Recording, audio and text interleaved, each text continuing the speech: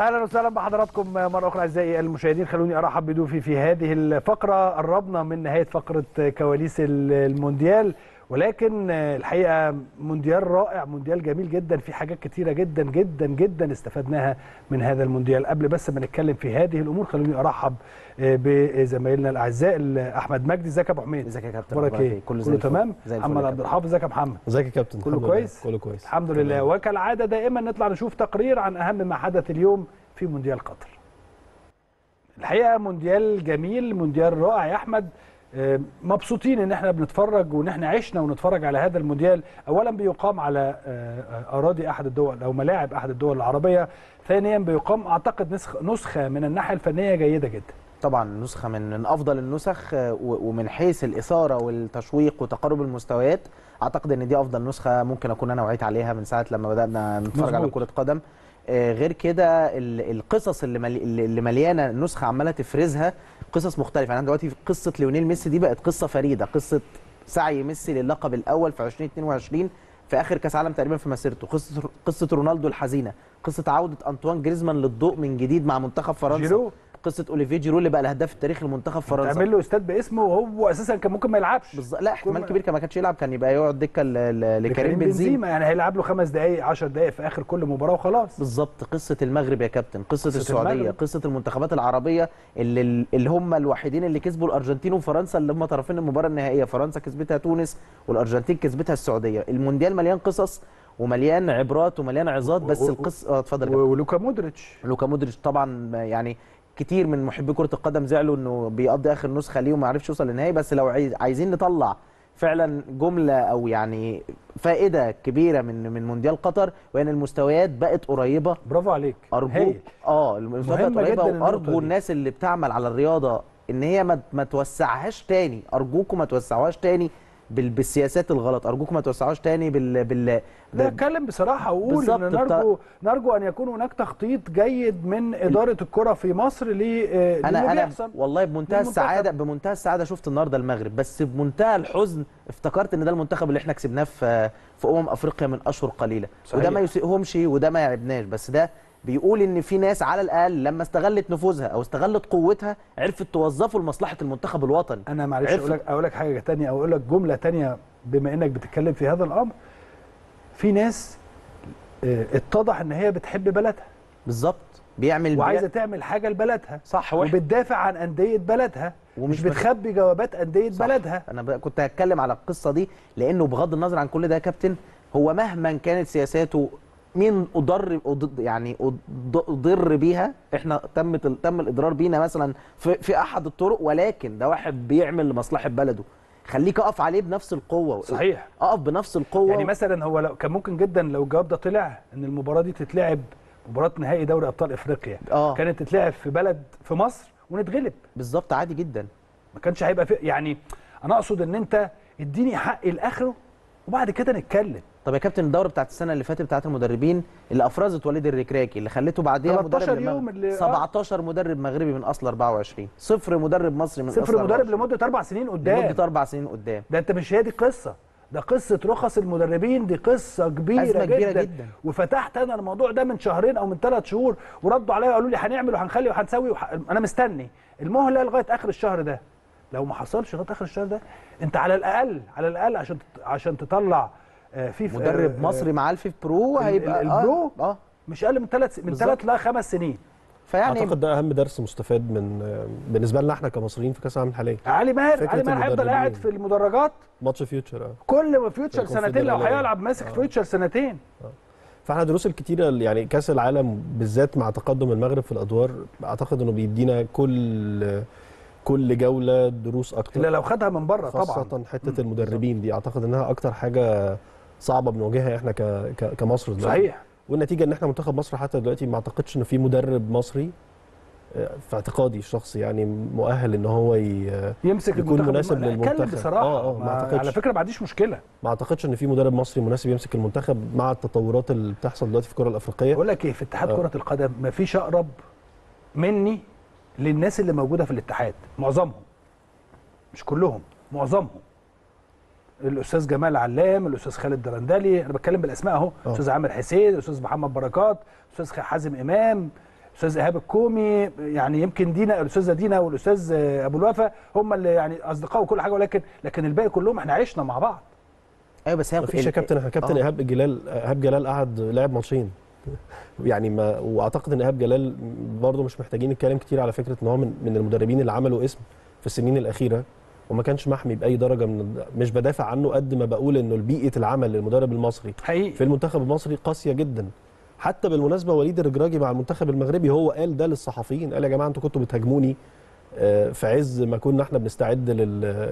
لكأس العالم وما كانش عندكم ثقة فيا ولا ثقة في اللعيبة فأعتقد إن وليد انتزع الثقة دي انتزاع صحيح، يعني بشكل صحيح. صريح لكن صعب إن إحنا يعني نقيس بقى على دول عربية أخرى يعني أنا ما أقدرش أقول إن الإنجاز اللي عملته المغرب بالتأهل لنص النهائي حتى ما أقدرش أقول إن هو إنجاز مخطط ليه بنسبة 100% هو في طبعا آه يعني طبعا وصعب آه. جدا على فكرة تكراره من المنتخبات العربية الثانية ولو إنه لو هنرجع للنقطة اللي كان أحمد بيتكلم عنها من شوية فكرة إنه تقارب المستويات أنا اعتقد انه سببها بان قوي في البطوله دي لأنه ما كانش في فتره اعداد كافيه صح للمنتخبات الاوروبيه تحديدا المنتخبات الكبيره قبل البطوله إحنا كنا قبل أسبوع من بدايه البطوله كان في جوله من الدوري الايطالي أو الدوري الانجليزي صحيح. 10 أيام ولا حاجة ففكره ان انت ما يكونش عندك فتره للاستعداد بس, بس الفكرة برضو آه. هايل اللي انت بتقوله ده ولكن الفكرة أيضا ان انت طالما وصلت ناخد بقى من احمد النقطه دي ما تحاولش توسعها تاني صح. طالما انت وصلت لنقطة الف- الفرق كان 10 بقى خمسة مثلا مثلا. بقى خمسة لأي سبب. تمام. خليك على الخمسة. ما تخليهمش 10 ولا 15 بس ده لازم تكون في الحالة دي لازم نكون إحنا كلنا يعني كمنظومة كره في مصر قادرين آه، نطلع الدروس صح من التجربة المغربية اللي على رأسها مثلا بعيدا عن وليد المدرب اللعيبة. النهارده حكيمي ومزراوي ده أمثلة بسيطة. واحد بيلعب في باريس واحد. بيلعب في بايرن يعني النهارده أيوة، مزراوي بديل اللي نازل ناشئ برشلونة الزلزولي اللي عمل الفرق ما. تزعلش مني برضه هو ما بيلعبوش ماتشات جديدة بص على آه. على الجانب الآخر أه، أنت عندك واحد بيلعب في ليفربول واحد بيلعب في الأرسنال واحد بيلعب في نادي كبير في تركيا في آه، مصر؟ تريزيجيه آه صح يا كابتن بس تخيل إنه كأس الأمم محمد في الأفريقية اليوم في آه، فرنسا. آه، بس نانت سوري فرنسا آه، آه، تريزيجيه في عندك. تريزيجيه ت- طرابزون التركي عندك آه، مصطفى آه، مرموش بس في نجوم طلعت في بطولة أفريقيا اللي فاتت في منتخب مصر كانت متألقة بدرجة تسمح لها إنها تطلع أوروبا ما طلعتش ما أعرفش ليه بص أصل وفي موضوع كتيرة. اللاعبين المصريين موضوع صعب جدا آه. لأنه اللاعب نفسه اللاعب نفسه اللاعب هو دي المشكلة في بعض الأحيان آه يعني هو في كان في كان في ثقافة راس انه حرب يستحمل ثقافة ال- آه. هل فيها راس حربة زي عمرو زكي مثلا؟ كراس حربة موديل ليك؟ أو لأي راس حربة؟ لا مفيش في يعني. وقتها يعني أنا بتكلم على آه. الوقت اللي راح جاب 10 تجوان في أربع ماتشات ولا في خمس ماتشات. وبعدين ما كملش. بعدين ما كملش عشان عشان العقلية. عشان عقليته في الوقت ده ما كانتش تسمح ليه إن هو يكمل. وأنا بقول أهو بمنتهى الصراحة. نقطة العقلية مهمة جدا. نقطة عشان كده لما محمد بيقول محمد صلاح بيتكلم على المنتاليتي لما يقول لك المنتاليتي ناس بتضحك ناس ما تعرفش إن ده الأساس. طبعا ده الأساس في كل شيء. وجهة نظري إن ده الأساس في كل شيء. خلينا ما نتفرعش لأنه الحقيقة الكلام في الحاجات دي سواء في الرخص التدريب. أنا أنا فتحت الموضوع ده يا أحمد من شهر ونص أو شهرين. ثلاث أيام ورا بعض. والناس كانت متخيلة إن أنا بطلع موضوع وخلاص خالص. أنا بساعد زملائي المدربين أو بحاول إن أنا أساعد زملائي المدربين. وحتى هذه اللحظة لم يحدث شيء.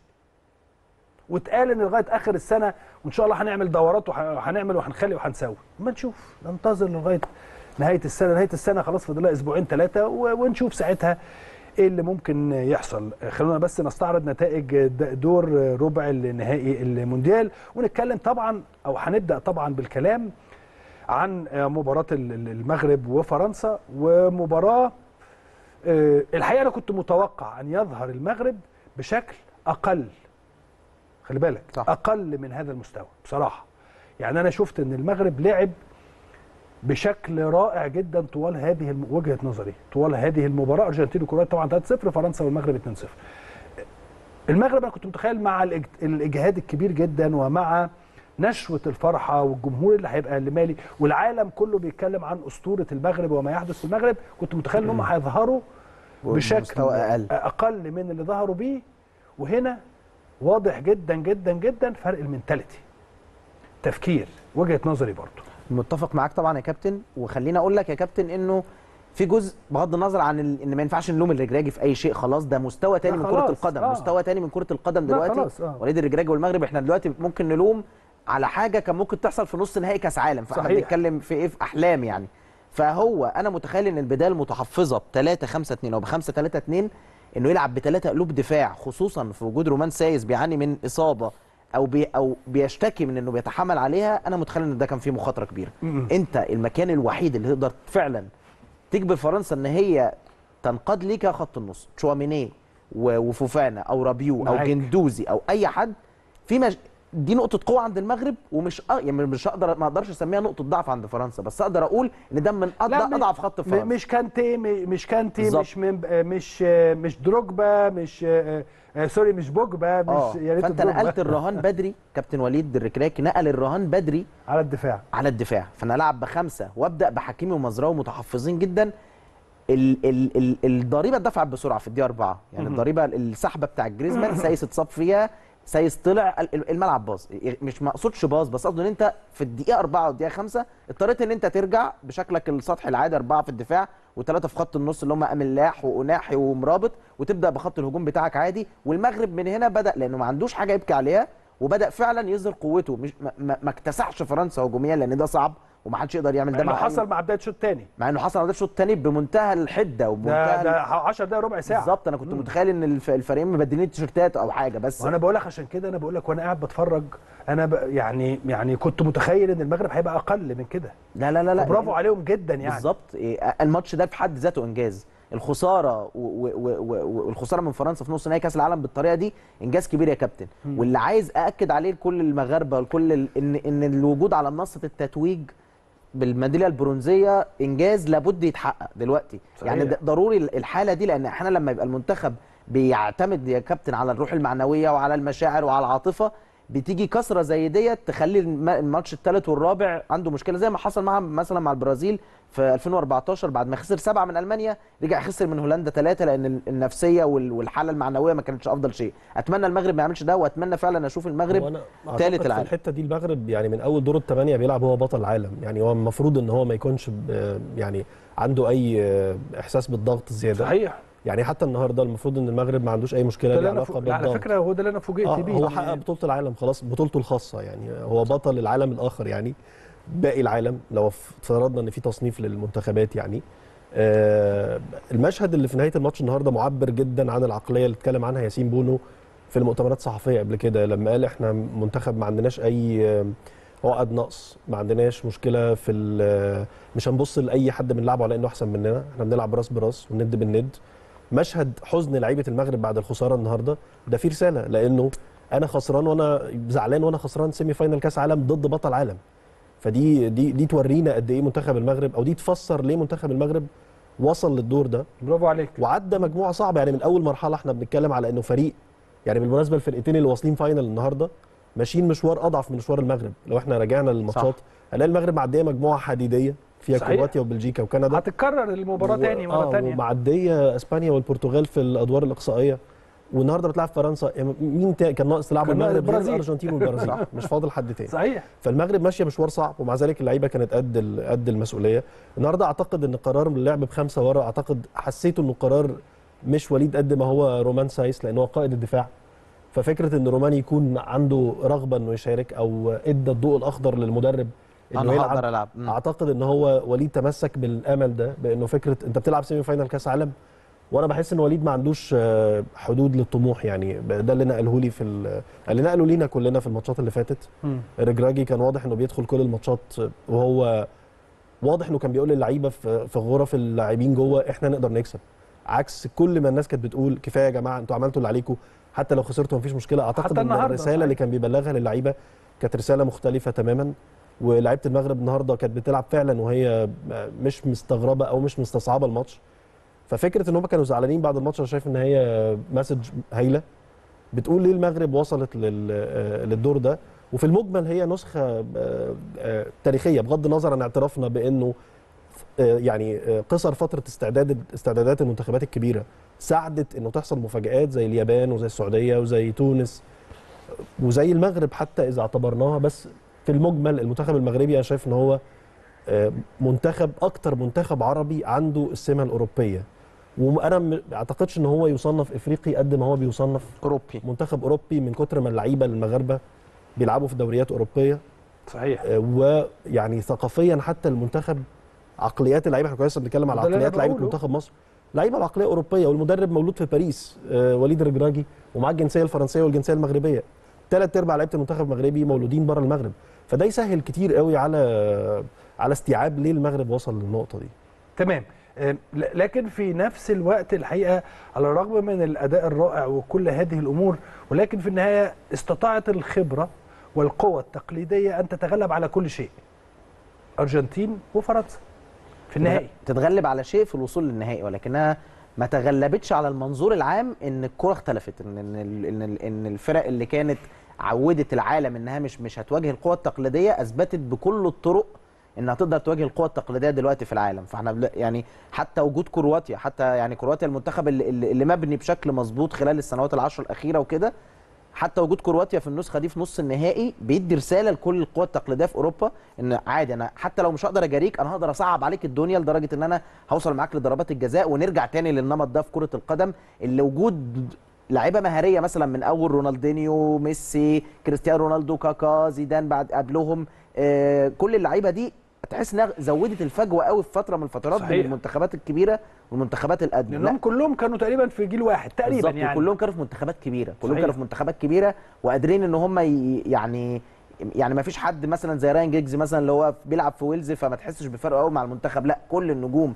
اللي ظهرت في الفترة دي في آخر 15 بيلعبوا سنة كانوا منتخبات بيلعبوا كبيرة. منتخبات كبيرة وعرفوا يخلقوا الفارق وكانت لعيبة دولية بدرجة كبيرة صحيح. فالرسالة دي آه ضمنيا وصلت ولكن أتفق مع حضرتك إنه في النهاية النهائي ده بحس إن من أول نص النهائي الأحكام بتختلف تماما يعني إنه إنه تمام فرنسا ما عندهاش مشكلة خالص إنها تستقبل لعب النهارده من المغرب طول ال 90 دقيقة تقريبا أو طول أوقات كتيرة من ال بس 90 المهم دقيقة تكسب بس هتكسب مش بس مش مش بالدفاع فقط لأ هو لما مبابي خلص ال- ال- الجون الثاني ده التخليص والترقيص والكلام ده هو بيستغل قدراته بس هو مش عايز يعمل لك ده طول الماتش مش هيعمل ده طول الماتش لأن هو بيفكر إنه هي واحدة أو اتنين كفاية.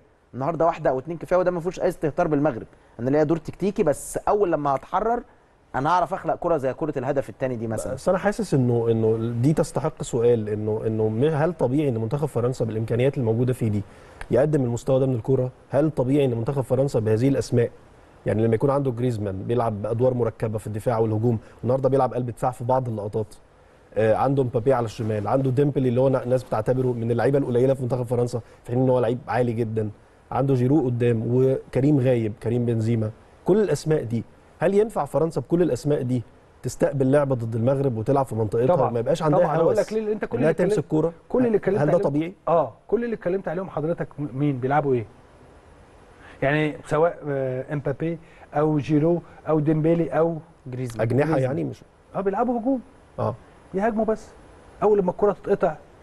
بس بتكلم على استراتيجية الفريق ككل. أنا ما ديشامب ينفعش كمدرب. أعتقد ده, ده- استراتيجية ديشامب حتى يعني في حتى حتى سنة- في حتى كأس العالم اللي فات. 2018. آه حتى في كأس العالم إحنا قدام نهائي فريد من نوعه. وإحنا بما إننا بنتكلم على بطولة كأس العالم دلوقتي وبنتكلم على المستويات آه، كأس العالم أحمد كان بيتكلم من دقايق على فكرة إنه إن كل المنتخبات عندها دلوقتي فرصة. طبيعي إن كل المنتخبات يبقى عندها فرصة مع آه، زي ما قلت من شوية فترة استعداد قليلة ولعب آه، تجاري جدا. أنا شايف منتخب فرنسا بيلعب لعب تجاري بشكل يعني مبالغ فيه. النهارده اللعيبة بتقدم أداء أعلى من ده بكتير في دوري أبطال أوروبا في الدوريات المحلية. النهارده دي دي ديشامب من غير خطة بيوصل النهائي بيعتمد على الفرديات بشكل مبالغ فيه جدا. صح. النهارده آه، الأرجنتين امبارح. ميسي. أنا حاسس إن اللعيبة بتلعب عشان ميسي. ده السؤال اللي عشان- أنا سألته امبارح مفيش ل- يعني- كتير من ضيوفي واول يعني الفترة اللي فاتت. أنا كنت متخيل ويمكن سألته لحضراتكم قبل كده. إنه هل إحنا في اتجاه كرة القدم العالمية الجماعية؟ يعني قبل مباراه قبل ما نتكلم عن الأرجنتين وفرنسا في النهائي سألت هذا السؤال. ليه؟ لأنه كانت أنا كنت بشوف أن الكرة الجماعيه الجماعية آه، في العالم كله من خلال كأس العالم ده بيتم إثبات إن هي اللي ماشية. دلوقتي العكس تماما. فردية ليه. لأنه آه. الأرجنتين زي ما حضرتك فردية قلت جدا، آه. فردية جدا. ال- فرنسا فردية جدا. حتى في المباراة أو في المباراتين اللي كان ممكن كان ممكن. المغرب بتلعب بطريقة جماعية وكرواتيا بتلعب أيضا بطريقة جماعية. مع احترامنا الكبير طبعا للوكا مودريتش أنا واحد من محبينه جدا يعني. ولكن كنت بشوف إن كرواتيا أهم حاجة فيها الجماعية زي المغرب. أيوه لأنه كرواتيا مثلا نجومية مودريتش مش كونه بس دلوقتي هو بيعمل إيه والكرة في رجله. نجومية مودريتش أساسها الفرقة بتعرف تعمل إيه ومودريتش في الملعب. الله ينور عليك. مودريتش في الملعب بيضمن إن كل الناس ماشية كويس حتى لو ما لمسش الكورة. بس هو مثلا بتحرك بسيط يرجع لل 18 بتاعة كرواتيا ممكن يخلق هجمة مرتدة زي هجمة الجون الثاني بتاعة البرازيل. صحيح. كل ده لأن ما لأن ما اتعطلتش عنده. أنا لو لاعب نص ملعب مهتم إن الكرة تيجي عندي. اقوم معطلها ممكن ابوظ هجمة مع ان أنا اهم لعيب وكذا وكذا. صحيح. ولكن في لقطة الجون الثاني بتاع الجون الأول بتاع بيتكوفيتش في كرو... في البرازيل اللي اتعادل بيها كل اللي حصل ان ان ان مودريتش خف الضغط عن الملعب كله بالعودة لمنطقة الجزاء فدي ده مش الموضوع. أنا شايف إن النظرية بتاعه الجماعيه والفردية يا كابتن إن إحنا في نهاية حقبة. أنا شايف إن إحنا في نهاية حقبة كرة القدم اتجهت فيها للفردية بشكل صارخ. لا ولو أنا سألتك هو استسهال. آه لجأ المنتخبات المنتخبات أنا في اعتقادي بيلعبوا في لعب فيه استسهال. وصول فرنسا والأرجنتين في النسخة دي للنهائي أنا أنا أنا شايف إن هو على قد ما كان فيه مفاجآت في البطولة بس شايف إن هو بيعكس صورة مش كويسة عن كرة المنتخبات. طيب هنكمل كلامنا في هذا الأمر ولكن خلينا نطلع عشان نشوف برضو سجل أبطال ال- ال- العالم على مدار التاريخ ونرجع نكمل. دول كل الأبطال واللي موجودين في كأس العالم من سنة 1930 وحتى الآن. ده النقاش اللي أنا كنت عايز أتناقش مع حضراتكم فيه. ما بين كرة القدم الجماعية يعني إحنا في 18 في 2018 في كأس العالم أو دايما خلال كل كأس عالم كنا بنلاقي اتنين تلاتة بيصعدوا بتكون عليهم كرة القدم العالمية أو بتقام عليهم كرة القدم العالمية أو على أكتافهم يعني. قبل كده كان في رونالدو وميسي وقبليه كان بيكام وزيدان وكذا بعد كده كان في كذا وكذا وكذا لغاية لما وصلنا السنة دي. هل حضراتكم شايفين أسماء من الممكن أبدأ بيك يا محمد من الممكن إن إحنا نقول إن هم كرة القدم العالمية خلال الفترة اللي جاية ستعتمد على هذه الأسماء؟ مفيش غير الأسماء التقليدية اللي هي معروفة من قبل كأس العالم. هيبطلوا. آه اللي هي من قبل رونالدو وميسي. اللي هم طبعا رونالدو وميسي خلاص بيبطلوا. لكن ال- الأسماء المفترض إن هم يعني اللي اللي هيكونوا نجوم الكرة العالمية بعد بعديهم هي الأسماء التقليدية اللي موجودة على الساحة اللي على رأسها طبعا امبابي اللي هو هيلعب نهائي كأس العالم خلاص. وهالاند اللي هو مش موجود في كأس العالم في منتخب النرويج محمد صلاح ما نقدرش نستبعده من من. المجموعة دي طبعاً. أحد أهم النجوم في الكرة العالمية في في الفترة دي يعني ما ما نجوم صاعدة زي أيوة. بيلينجهام مثلا لاعب وسط لاعب وسط في إنجلترا. دورتموند اسم مهم جدا هيبقى مطروح إن هو؟ بيلينجهام بيلينجهام، اللي هو آه، هيخش دورتموند. الانتقالات بالظبط وغالبا هيروح نادي إنجليزي قريب بيدري آه لاعب وسط برشلونة منتخب إسبانيا جافي برضو منتخب إسبانيا في برشلونة آه دي أبرز الأسماء. طيب. يعني ما لفتش نظرنا حد. جريزمان مثلا ما أقدرش أعتبره آه لا ما هو بيعيد إحياء مسيرته لكن هو بس من نجوم البطولة الآخر. الحقيقة. العربي بطل. آه طيب. عربي بطل. هو اتكلم آه، محمد اتكلم عن بيلينجهام اتكلم عن جافي اتكلم عن بيدري. بيدري. هذا الثلاثي تستطيع أن تقا- تقارنه برونالدو وميسي و... وأي اسم آخر؟ لا لا طبعا ما ولا حتى 50% من هذه الأس... يعني ما يجوش ما مستحيل يوصلوش ل 20 ولا 30% من ميسي ورونالدو مثلا. بالظبط هو العنصر العنصرين فعلا ال- الفرديين الوحيدين في العالم اللي يقدروا دلوقتي إن هم تبني عليهم فعلا للمستقبل هم مبابي وهالاند. يعني هم مبابي وهالاند اللي عندهم الجانب ال- الطفري اللي يعني اللي هو الطفره يعمل لك طفرة طف- في آه، المنتخب في بتاعك أو مع. النادي بتاعك يعني مبابي إحنا دلوقتي بنتكلم على على 11 جون في كأس العالم وعنده 23 سنة 10 جون في كأس العالم 9 جوان 9 أنا متاسف آه. تسعة وهو في كأس العالم وعنده 23 سنة واخد كأس عالم في 2018 بيقود بلاده لنهائي كأس عالم في في, في 2022 وعنده 23 سنة واحد من أهم نجوم ال- المنتخب فمبابي اللي عنده الجانب ده لأنه تخفف من ضغط كأس العالم بدري دي برضو نقطة مهمة إن ميسي. خد كاس العالم وهو صغير. زي ما رونالدينيو حصلت في مسيرته مثلا في 2002 إنه خد كاس العالم صغير فبقت كل حاجة تاني ينفع يجربها لحد ما ده أثر على مسيرته بالسلب في 2007 2008 وأنهى مسيرة واحد من أهم الم- المواهب في تاريخ اللعبة اللي هو رونالدينيو. بالعودة لنقطة المواهب مفيش حد أنا بتفق مع حضرتك مفيش حد اللي هو يجي لدول بس ده ملوش دعوة ممكن بشكل الكوره قوي قد ما له دعوة بمدى. أسطورية ميسي ورونالدو آه. ميسي ورونالدو عملوا شيء ما حصلش في تاريخ كرة القدم من سنة حقيقي، 1863 حقيقي. يعني إحنا بنتكلم على 15 سنة فعلا لأول مرة اتنين يتشاركوا منصات التتويج في كل شيء. بالحدة دي رقميا فرديا جماعيا ويبقى فعلا كله عارف إن أهم نجمين فرديين للمدة دي يعني حتى صراع بيليه مارادونا ما ما واكبوش بعض بيليه ما قعدش المده دي اول على مستوى العالم بدون منازع. ظهر ألفريدو دي ستيفانو ظهر بوشكاش ظهرت نجوم زي كده. مارادونا ال peak بتاعه كان ستة أو سبع سنين. رونالدينو ثلاث أربع سنين. رونالدو ثلاث أربع خمس سنين. كاكا سنتين ثلاثة لكن ميسي ورونالدو الاستدامة دي هي هي اللي فعلا مبروزة الموضوع. فاحنا ممكن نقول إن في حقبة بتنتهي باعتزال الاثنين دول. ولكن كرة القدم بتعود رياضة طبيعية بدون بدون خوارق كتير بدون خوارق كتير لأن ميسي ورونالدو فعلا كانوا فارقين. إمبابي يظل في الاسطوري آه. بس طبيعي.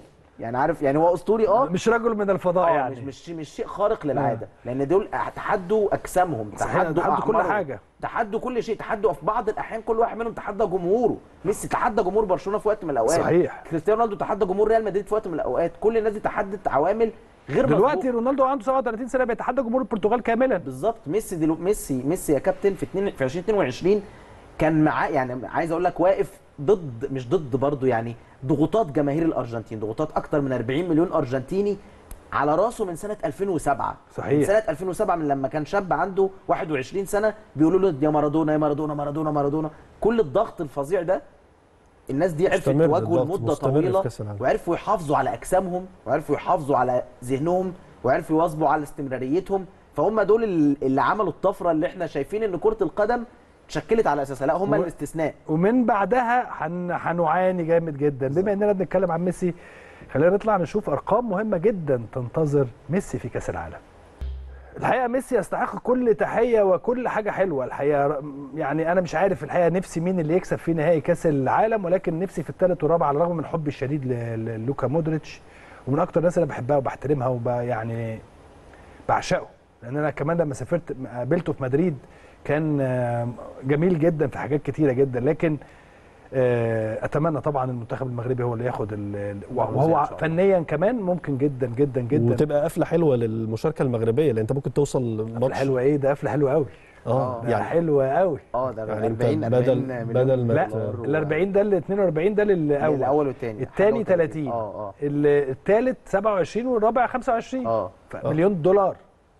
فحاجة حلوة جدا. وتنهي مشاركتك التاريخية بمركز ثالث وتاخد ميدالية برونزية في كأس العالم؟ طبعا. دي حاجة ولا في الأحلام. واعتقد وأعتقد هو قاعد بيتفرج على برضو أرقام ليونيل ميسي بي بي بيلاقيها رايحة في في منطقة لوحده آه. برضو الراجل ده. 15 فرصة. ال- الحاجة اللي عامل 15 فرصة. أكتر واحد عامل صناعة 15 محاولة صحيحة. والأكثر في البطولة 27 يعني أنا أنا بشوف ميسي بغض النظر عن أدائه حتى في البطولة دي هو عامل أداء هايل جدا وتصاعدي. بس في حاجة حاصلة في الأرجنتين أنا بحس لعيبة الأرجنتين بتلعب عشانه مش بس بتلعب عشان الأرجنتين أنا والعالم قلت برضو. الكلام ده امبارح إنه آه. إن اللعيبه بتلعب علشانه هو. إن في ناس كتيرة جدا. ما هو ده طبيعي على فكرة. يعني آه، لما تيجي تبص على آه، جيل منتخب مصر أيام أبو تريكة كانت الناس بتلعب عشان أبو تريكة لو تفتكر. في الأهلي كان نفس الكلام. ال- آه، ان لما أبو تريكة عشان يبقى يم- لما جه يبطل آه، كاس مصر كان نهائي كاس مصر دوري أو حاجة أورلاندو دوري أبطال أفريقيا 12. وكده آه،. الناس اللعيبة نفسهم لما جيت تسألهم أو كنت 13 بتقول. لهم إيه اللي بيحصل ما تيجي تسأل وليد سليمان مثلا ومن هذه ال- الحقبة من هذا الجيل قال قال لك إحنا كنا بنعمل كده عشان أبو تريكة يبطل وهو مبسوط فده الطبيعي بالمناسبة اللي هو انت بتدي بيبقى عندك واحد هو القائد أو هو الملهم فانت عايز تخليه يبطل بشكل كويس. صح. فبتعمل كل حاجة بلدك طبعا بعد كده هذا الرجل. بس أنا حاسس اتفضل لا لا اتفضل اتفضل. أنا حاسس إنه الأرجنتين آه، آه، يعني كل الضغوط اللي كانت على ميسي قبل كده آه، اولا هي قلت جدا بعد الفوز بكوبا أمريكا النسخة الأخيرة صحيح. لأنه كان ميسي ما حققش أي لقب مع الأرجنتين. لكن مش عايزين ننسى إنه وصل الأرجنتين لخمس نهائيات. وصلهم لنهائيين كأس عالم وثلاثة final كوبا أمريكا. مع الجيل ده الأرجنتيني بشوف ده إنجاز مهم لميسي. حتى برغم إنه كلمة إنجاز لما بتيجي جنب ميسي حجمها بيقل. بيقل جدا. إنما قيادته للأرجنتين في البطولة دي أنا شايف إن هو استثنائي. اللعيبة زي ما قلت بتلعب مش بس عشان الفريق هي بتلعب كمان آه، آه، علشانه. فأعتقد إنه آه، تتويجه بالبطولة أو عدم تتويجه مش هيفرق كتير مع الأرجنتينيين دلوقتي. لأن هو وحتى كذا حد قالها له أعتقد إمبارح في مراسلة أرجنتينية كمان اتكلمت معاه آه، بشكل شخصي. كان آه ما كان هيعيط. قالت له إحنا مش فارق معانا إن أنت تجيب الكاس ولا لأ إحنا خلاص بقينا يعني أنت أهم حاجة في حياتنا وسعداء باللي أنت قدمته لينا. فأعتقد إن في حمل كبير آه، بينزل عن ميسي مع الوقت مع طبعا الاعتراف إنه هدف الفوز بكأس العالم آه، ده حلم آه، طبعا. أعتقد إنه أكبر حلم عند ميسي أكبر حتى من نجاحاته ال- الجماعية مع برشلونة وحتى إنجازاته الفردية. أعتقد إن هو في اللحظة دي هو بيعيش أهم ثلاث أربع أيام في مسيرته يعني. حقيقي لأنها ب- بتنتهي أو بتقرب تنتهي. طبعا مش عشان بس بتقرب تنتهي بس علشان كل الضغوطات اللي حكى عنها محمد دلوقتي لأنه آه، ميسي الضغوطات وصلت لناحية يعني عارف لو أي جنسية تاني غير إنه أرجنتيني؟ الأرجنتين هستيريا كرة القدم وتأثير دييجو مارادونا عامل يعني 36 سنة مرت على التاريخ ده ولسه الناس بالنسبة لها مارادونا بال effect اللي عمله في 86 ده أهم شيء حصل في تاريخ البلد دي. فلما كل الهستيريا دي بتجتاح ال- ال- البلد زي الأرجنتين وكل ده ينزل على كتافك وبين قوسين ميسي الجديد بتاع 2022 ده لأن عنده حاجات جديدة بيعملها. ميسي بقى شرس جدا كقائد. ميسي بقى شرس جدا بعد المباراة. ميسي بقى شرس جدا في. كل اللي حصل في ماتش هولندا ده الارجنتينيين استقبلوه بغض النظر إيه شكله أو فحواه من الناحية الأخلاقية مين يتفق إن ميسي يروح لفانخال ويعمل. بس الناس كانت عايزة تشوف ميسي كده من زمان. الناس كانت عايزة تشوف ميسي بالشراسة دي بره الملعب وجوه الملعب من زمان.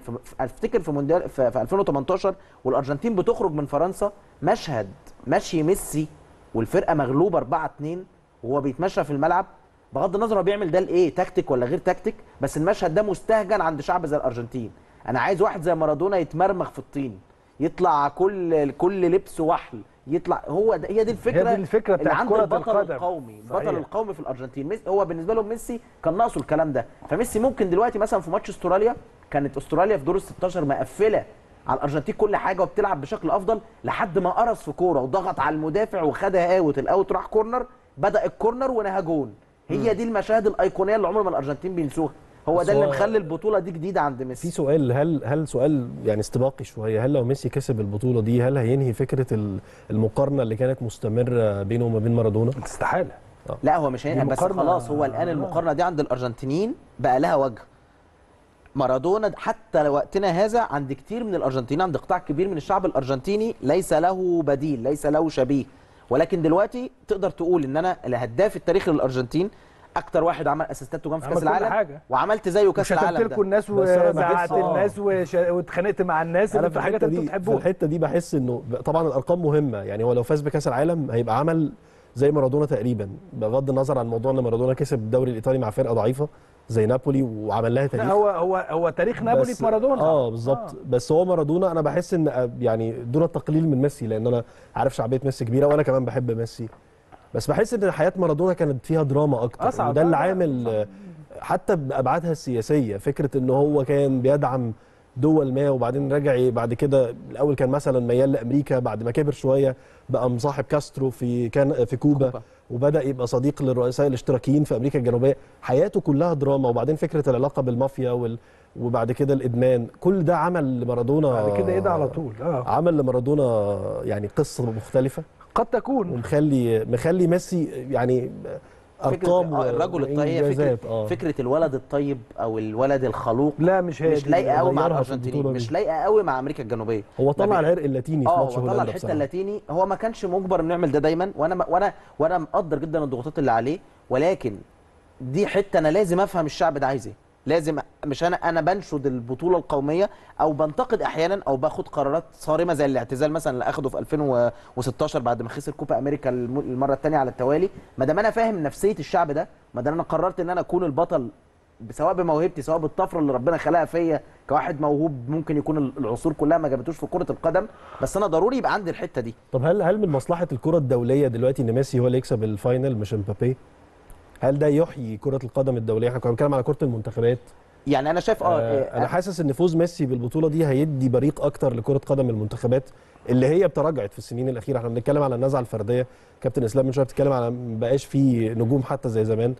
أعتقد إعادة آه، ميسي فوزه بالبطولة دي مع الأرجنتين هيرجع شوية هو هيفرمل من كمان إحساس ال- الأرجنتين في 86 مع أرماند مع وأعتقد. إنه هيفرمل رقم امبابي رقم امبابي ده اللي جاي بعد كأس العالم اللي هو العقد اللي ممكن يروح بيه ريال مدريد أو أي نادي تاني آه. أو يجدد فيه في باريس سان جيرمان هيبقى رقم خطر على الكورة أنا بقول لحضرتك لو خد كأس عالم فعلا الرقم ده يكون خطر على مستقبل كرة القدم من وجهة نظر الناس آه، اللي- خد عام 23 سنة خد اتنين كأس عالم اتنين خد كأس. كأس عالم وطالع بعد المشكلة بتاعت ريال مدريد وطالع بعد كل ده هيبقى وبعد زي عقد الله أعلم هو. واصل لكام المتعارف عليه ان 1 و16 من 100 مليون يورو اسبوعيا.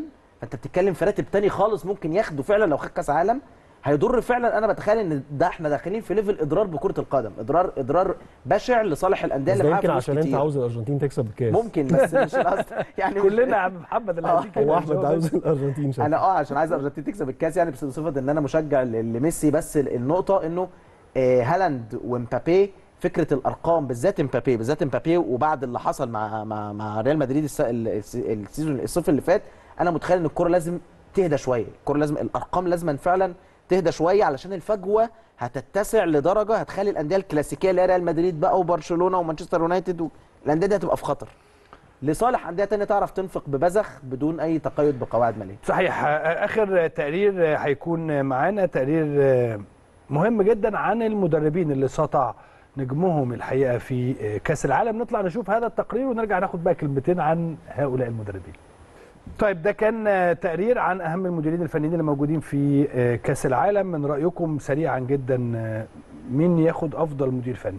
وليد بعد وليد الركراكي. وليد الركراكي. يعني بعديه وليد الركراكي. برضو؟ لا وليد الركراكي عمل بطولة يعني هو المدرب الوحيد في ال 32 منتخب يعني لو طبعا استثناء هيرفي رينار يعني اللي ما عملش طفرة مع السعودية تقول تخلينا نحط بس هو وليد الركراكي المدرب الوحيد اللي أحدث تأثير واضح وفارق في منتخب بلاده. أنا متخيل ده مفيش وهي العملية نسبية أنا بتفق مع أحمد جدا. عمليه نسبية أنت لو معاك فرقة كبيرة أنا زي- بشوف فان- فان- فانجال برضو واحد من المدير الفنيين اللي, اللي كان لهم تأثير قوي جدا جدا متفق مع معاك جدا. coach كبير طبعا coach وعنده كبير تاريخ. وله دوره. وفرقة هولندا ما فيهاش نجوم. بالظبط. وصل بيها المرحله كان ممكن جدا يبقى هو في semi final مكان. الأرجنتين. لكن أنا ما بشوفش آه. إن ديشامب عمل حاجة جامدة.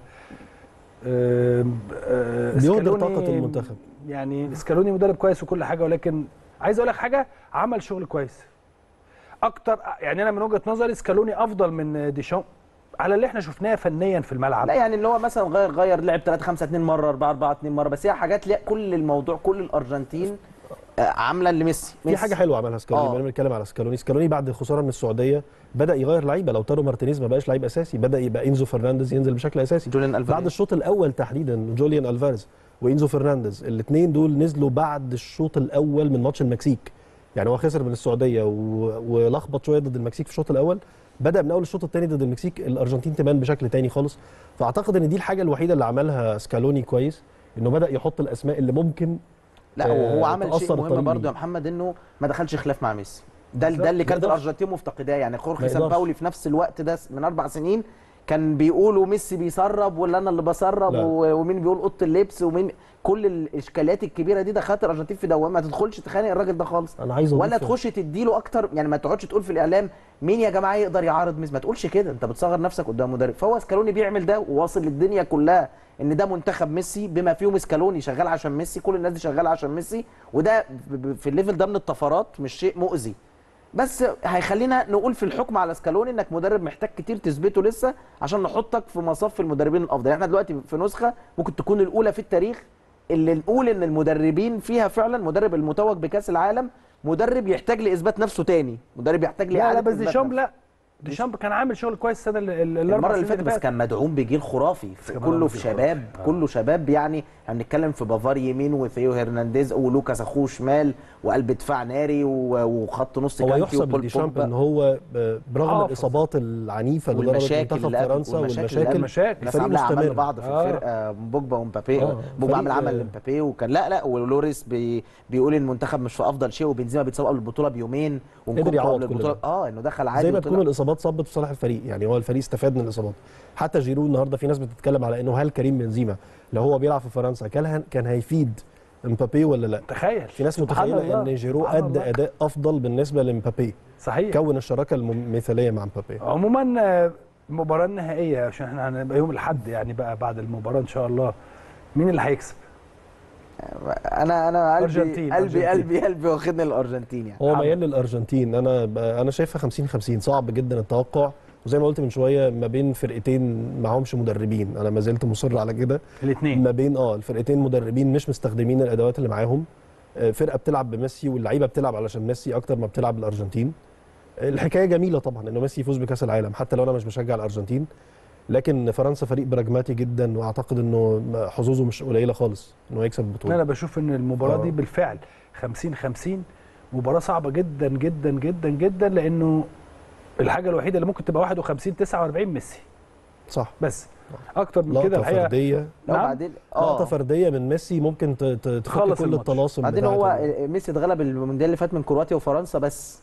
فهو دلوقتي كسب كرواتيا وخلص الطار بالظبط 3 0 3 0 ممكن يكون ماتش فرنسا موعد تاني إن ميسي ياخد خلي ال- بالك في ياخد الصدارة. 90 اللي ألمانيا غير كمية المفارقات كمية المفارقات اللي ممكن تدي الأرجنتين البطولة يعني أكبر من أن أن يتم تجاهلها لا ما هو في مفارقات كبيرة جدا من بقول لك. مفارقة هقول لك مفارقة في ستة في 90 مين اللي وصل المباراة النهائية؟ ألمانيا. والأرجنتين الأرجنتين خسر من مين أول البطولة؟ من الكاميرون الكاميرون الكاميرون. آه. 1 0 آه آه فرانسوا أومانبيك ساعتها اللي جاب الجول بس أنا ممكن ولا موبوما؟ أومانبيك. موبوما لعب 2000 سنة 2000 آه، لكن آه، 90 آه، كان هو مثلا أومانبيك. كندا كندا آخر مرة وصل فيها كأس عالم كانت 86 حلو. تاني مرة في 2022 86 اللي- كانت خدها الأرجنتين. المغرب ما وصلتش دور تاني في كأس عالم اطلاقا غير 86 السنة دي وصلت لتاني مرة وده أرجنتين. لا بس ما وصلش دور تاني. ما- وصلت دور تاني. لا.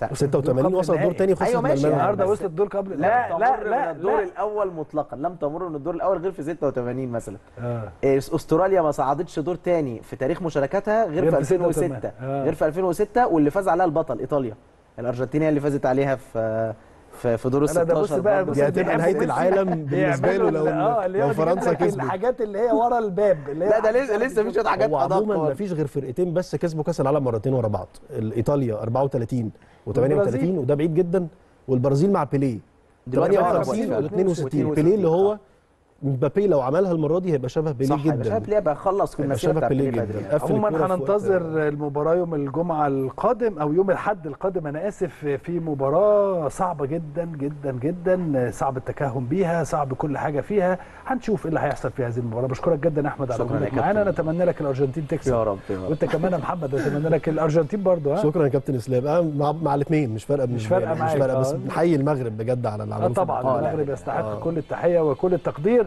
أنا بشكر حضراتكم شكرا جزيلا. كانت هذه حلقة نهاية الأسبوع. إن شاء الله التقي مع حضراتكم يوم الأحد القادم بعد نهائي كأس العالم. إن شاء الله نتكلم بقى كلام مهم جدا عن نهائي كأس العالم في نسخته الأفضل حتى الآن. شوف حضراتكم على خير وحلقات جديدة من البيت الكبير.